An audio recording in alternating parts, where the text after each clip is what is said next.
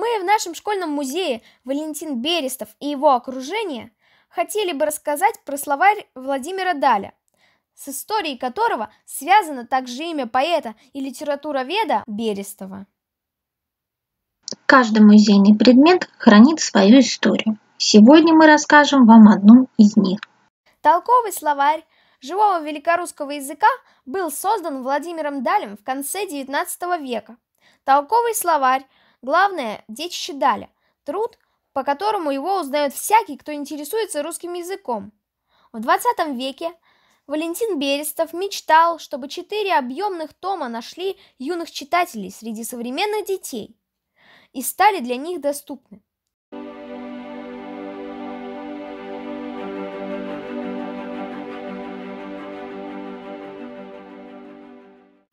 А сколько же слов в словаре Даля? В четырех томах толкового словаря живого великорусского языка Владимира Даля насчитывается около 200 тысяч слов. О чем рассказывалось в словарных статьях? Это необыкновенный словарь. Его можно читать как книгу. Из словаря можно узнать, в каких избах жили русские люди в старину, какую одежду носили, какие печи топили, на каких телегах ездили, чем поле пахали, как боронили, как рыбу удили, какие щи хлебали, какую кашу варили, чему детишек учили. А сколько лет Даль отдал на составление словаря? В общей сложности Даль 53 года занимался составлением словаря. Сначала собирание слов было хобби Владимира Даля. Он совмещал эту работу с государственной службой. Постепенно про эту затею многие устали. У него появились единомышленники и помощники.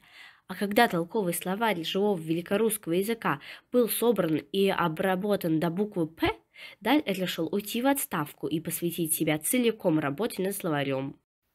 А когда и где это произошло? В 1859 году он поселился в Москве на Пресне. В этом доме прошел заключительный этап работы над словарем, до сих пор не превзойденным по своему объему. Сохранился дом на улице Большая Грузинская, дом 4, дробь 6, строение 9, где Владимир Даль проживал с 1859 года до своей смерти в 1872. С 1986 года здесь открыт музей лексикографа Владимира Даля. Возможно, в одно из своих посещений этого музея Валентин Берестов задумался над тем, как сделать детище Владимира Даля доступнее для детей. И тогда у него появилась идея составить адаптированную версию для совсем юной аудитории. И как же Владимир Даль собирал эти слова? Это была своего рода страсть, где бы он ни находился, на ярмарке, дома, в море, везде его копилка слов могла пополниться. Каждый вечер приносил он домой несметные сокровища, единственные, за которые не берут на ярмарке денег. Только подбирай. Дома раскладывает слова по полочкам в своих хранилищах, каждую пословицу переписывает. Считается, что с 1819 года он стал заносить в записную книжку заинтересовавшие его слова, выражения, обороты. Народный язык очень привлекал его. Принимая за свою работу по созданию адаптированной версии словаря, Валентину Берестову было важно сохранить идею. Чем она отличается? В версии словаря, которую подготовил Валентин Берестов вместе с женой Натальей Александровой, всего пять тысяч слов и понятий. Составители стремились передать и внутреннюю духовную сущность словаря. Порядок изложения здесь тот же, что и у Владимира Даля. Орфография современная. Валентин Берестов мечтал сделать так, чтобы книги стали настольными для всех поколений. Даль собирал слова по всей России, среди всех слоев общества, для всего народа. Жаль, если мимо этого сказочного богатого наследия, ценнейшего достояния нации, пройдет поколение за поколением, и лишь немногим четыре тома словаря станут необходимы, как умные и добрые друзья. Так размышлял в своем предисловии к переизданию словаря Даля для детей Валентин Дмитриевич Берестов. А когда появился такой словарь? Свою работу Берестов и Александрова вели в 1993-1994 а, годах отбирая самое-самое, без чего сейчас не обойтись, думая назвать ее избранной для семейного чтения. В эти годы Валентин Берестов жил в мире Даля, удивляясь, радуясь и вовлекая в этот мир добра и истины, друзей, детей, знакомых, незнакомых.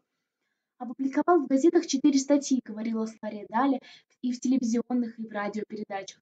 Но до исполнения мечты появления томов было еще далеко. Только через пять лет издательство «Олма Пресс» совместно с него опубликовало книгу как подарок Владимиру Далю к его дню рождения. Вышло два тома.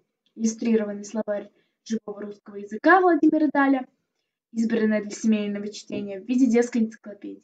К этому времени Валентина Берестова уже не было в живых, он умер в 98 А кто делал иллюстрации для этого издания?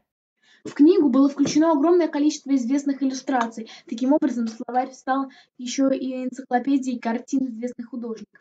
Руководил оформлением художник-дизайнер Поликашин. Он включил в свою команду художника Галину Александрову, друзей и коллектив Российской государственной детской библиотеки. Так появился первый иллюстрированный словарь Владимира Даля для детей. Теперь уже во многих издательствах переиздается словарь с иллюстрациями, для его оформления работают разные художники.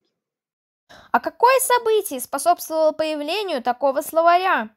В ноябре 2001 года и за рубежом торжественно отмечалось 200-летие со дня рождения Даля. Были переизданы его труды, а, общедоступным стал толковый словарь. В нашем музее вы можете увидеть эту книгу, изучить ее более подробно, а также вашему вниманию предлагается выставка «Владимир Даль и его словарь».